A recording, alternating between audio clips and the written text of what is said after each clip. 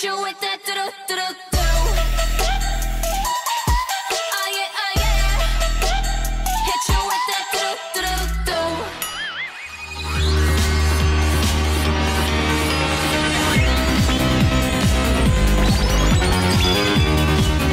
Hi! Hello po! It's me, Luis Perez Jr. and you are the Kayang. So, nandito ako ngayon sa isang grocery kasi meron ditong Western Union at para i-claim ko na din ang aking pera. Pero close pa kasi. 8.49 a.m. para ng umaga. May pupuntahan kasi ako mamaya sa bandang ABS-CBN yung fantastic baka kasi ini-invite ako. Kaya ayun, eh malayo pa ako 'di ba from Cavite to saan ba yung ABS? Basta sa ABS-CBN. Ang ginamit kong pang vlog ngayon yung J5 ko kasi baka malobat agad yung ating DSLR eh wala tayong magamit mamaya. Kaya ngayon tsaga-tsaga muna tayo sa J5 pero malinaw naman eh. Oh. Ngayon na din ako bibili ng iPhone na temporary lang naman. Hindi naman yung pang matagalan na.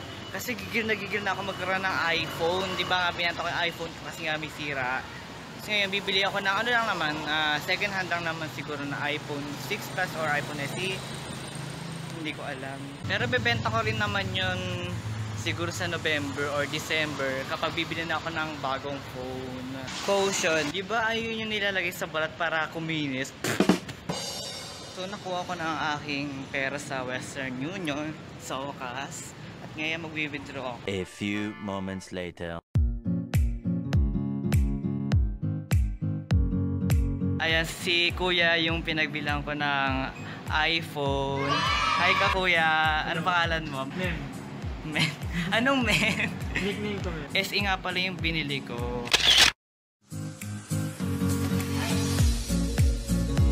So nandito na po kami ngayon sa Magallanes, sa M LRT, MRT, ewan ko ba sa tren, ganun. At hihintay na lang namin yung tren na dumating dito. Hintay-hintay lang kami dyan. Ayan, so pinagbawalan pa tayo, no? Bawal daw sa area ng tren. But anyways, ayan, diretso na kami sa Quezon Ave.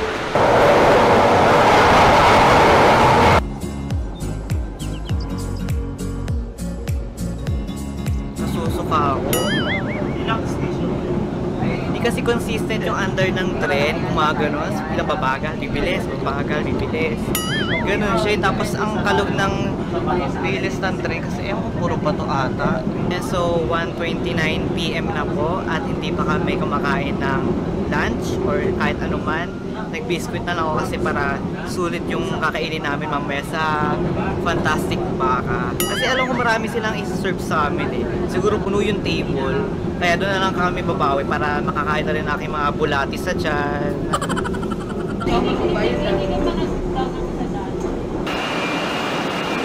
Ayan, so nandito na kami sa Quezon Avenue at magta-trike na. Kinakabahan pa ako, di ko alam kung sino kakausapin ko dyan. By the way, nandito na kami sa tabi ng ABS-CBN lang naman to.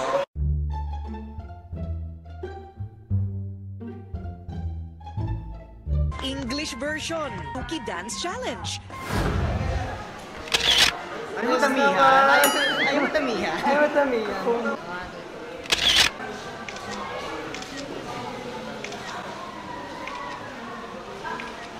Ayun, madami na yun ah. So mga kayang sandito po tayo sa Fantastic Baka at ito ay malolocate dito sa Grandia Building, Mother Ignacia Street, Diliman, Quezon City. Actually katabi lang to ng ABS-CBN, parang nasa likod lang tayo ng ABS-CBN. So ito ang kanilang living room. Ito kanilang, ah, ang tawag dito, lobby. Lobby, di ba? Hindi ko alam. Hindi ko alam.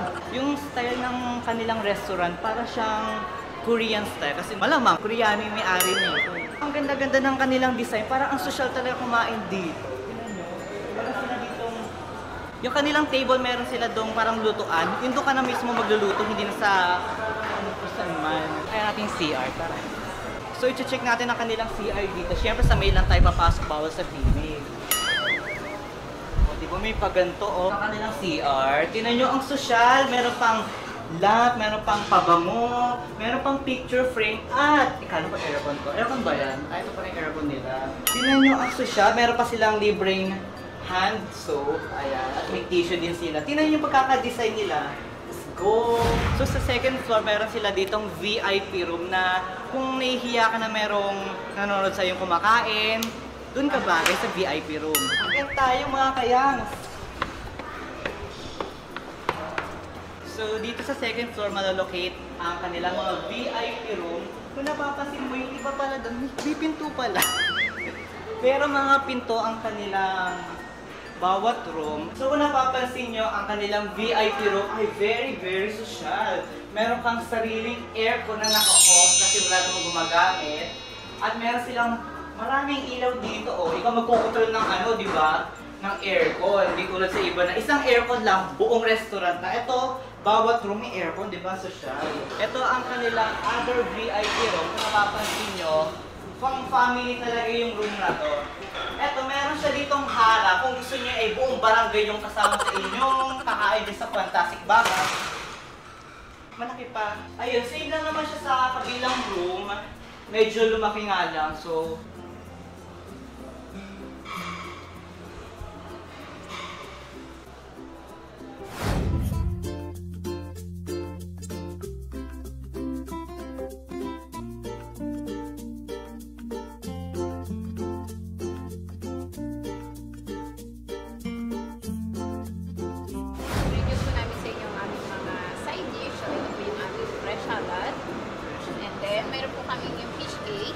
fish cake. Yes po, yung fried fish cake po sa atin. Ah, And then, and then yung aming kimchi. Kimchi. Ito lang alam ko yung kimchi eh. And then, ito po yung aming coleslaw salad. Oh, ito, ah, familiar din ako. And then, yung fried potato. fried potato. And then, meron po tayo dito cheese. Yung Cheese. cheese, sauce. Ah, cheese Yan, sauce. isa po siya ngayon sa aming mga pinaka-the best Ay, sauce dito. Ito po yung ating mga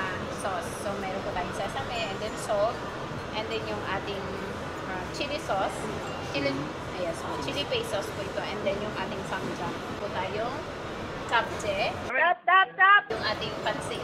Pansit kanto lang Yes. sa... Yan. So, meron din tayong ganyang soup or yung ating soya bean soup. Yes. And yung chicken. Chicken, ano siya? Ah, yes, sweet and sour chicken. Isa rin Ito, po ito sa aming mga bestseller. And this one is a steamed egg. Steam egg. Ito, spaghetti. spaghetti. Spaghetti. Ng. And then yung ating ah, mga iba't ibang klaseng vegetables. And then, ang ating pong spicy salad also. Spicy salad. Yes. Ayun, favorite ko naman ng spicy. Yes, so... Ito para lang siyang ano, And parang we have fishball. also, we have sausages. So, yung pork. This one is pork. Or yung jole. Ay, yung jole, eh, eh, siya po yung ating panga. Huwag baka ito balsik to ah. Ay. Pero di na ako marunong mag-chopstick.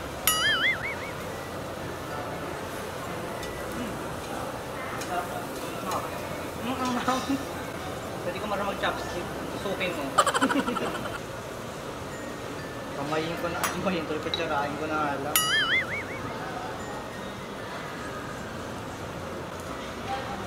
Ang creamy ng ano nila, ng spaghetti nila dito.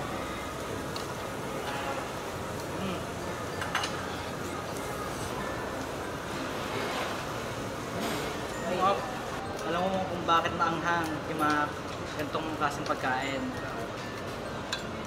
Kasi malamig sa ano, sa Korea, kaya kailangan nila ng pampainit. Kasi di ba nakakainit yun ng katawan, according to my research. Hmm, daming sesame seeds. Pampawala daw yun ng ano, ng baho ng hininga. Try natin to isaw-saw dito sa cheese. Isama pang pasit karton.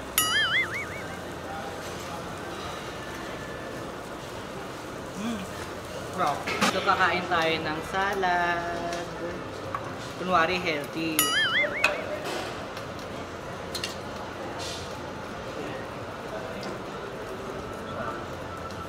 Mmm. Sarap.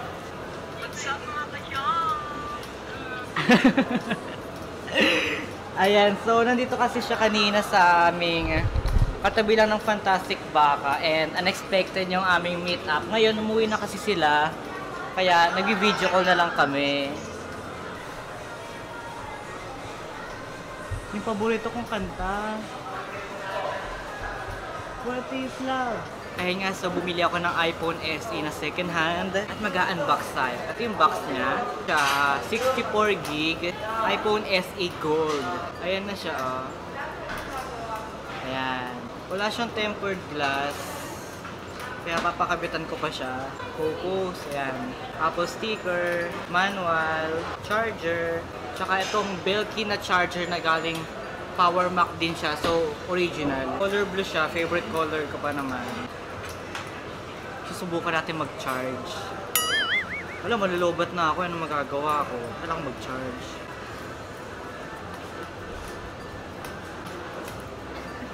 Ayan, dahil sa sobrang bobo ko, tapon yung chopstick, yung kanton, bayan, kanto sa aking damit na puti pa naman. Ayun, no, oh. Pero ang dami kong pagkain dito na nakain na nagustuhan ko talaga.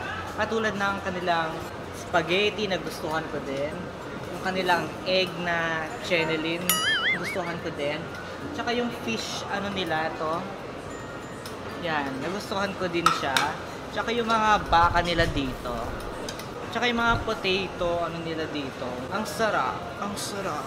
So magpapat muna ako ng damit dahil amoy usok na po tayo in 3, 2, 1. Tara, nagpalit na po tayo ng damit. Titip ko dito. Titip ko na. Wala, mahulog. Wala. Ate, ano pangalan mo? MJ po. Thank you po. Hi po kayo sa vlog. Thank you po. Thank you din. Sir, anong pangalan nyo? Uh, by the way, I'm Charles. Thank you, Sir Luis, for coming and visiting us today at Fantastic Baka po. Thank you din po It's for really inviting our, me. It's really our pleasure po na pumunta kayo dito. Hello po. Thank you po. Hi po ate. Thank you din po. Thank you po.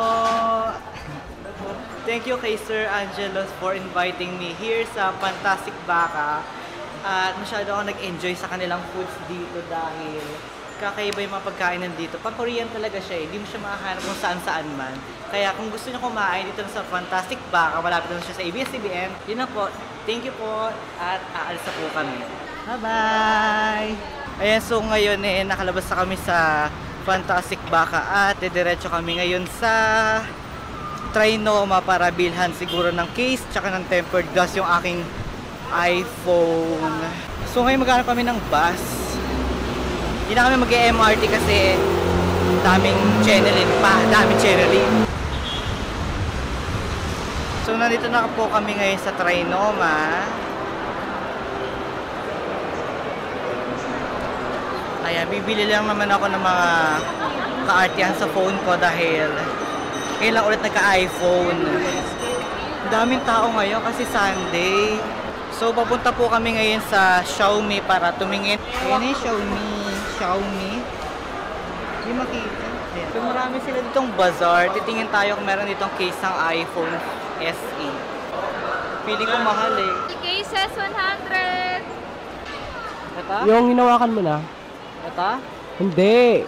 No. Black, tapos white yung phone. Ngayon naman, Oo. black and white. Oh, Maganda lang sa harap, pero pag sa likod may... Hindi siya bahaya. walang nahanap si Kuya Luis. Init dito ah, sa Trinoma Garden. Hindi nga pala ako ng tawag dito, st- string bag, sling bag. Ah. Nakabili ng wala sa oras. Oo, napabili ako. Kailangan akong pera. Ayan siya, oh. Yung... Nagtsatsagaan ko yung bag kong napakatagal na sa akin. Alam mo lang pambili.